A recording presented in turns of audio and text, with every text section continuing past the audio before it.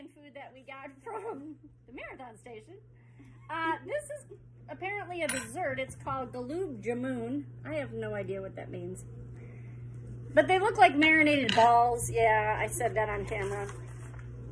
They do. They were in this container and there was four of them in this like syrupy saucy thing. So it's basically, it looks like a little donut. That's what the lady told my brother. And this is authentic food. So, um, as if food, if it's not real, it's not considered authentic. But this is actually made by Indian people. And um, it's authentic from recipes that they have, apparently, because I can't pronounce anything. So uh, here we go. Let's try this galoob thing.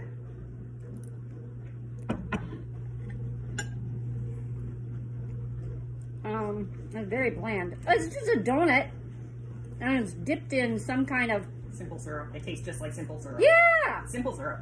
That's it. yeah. They're not that good. Show. Yeah, It's simple syrup.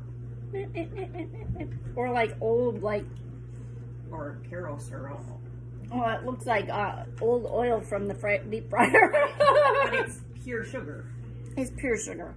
Good. Yeah, it's all right. I'm I'm not that much of a fan. I yeah, actually the Ew. donut part wasn't.